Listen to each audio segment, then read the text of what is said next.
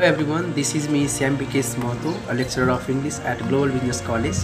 I hope you all are safe at your home and you are following the government's instructions to combat against this COVID-19 coronavirus.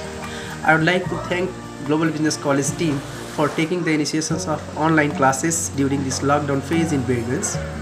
My dear students, I hope you all are preparing well for your final examinations with the same energy and effort as you had before this pandemic.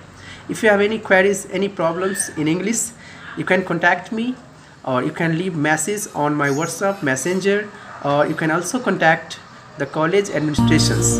I'll always be there for you. Thank you. Stay safe at your home. Study at your home.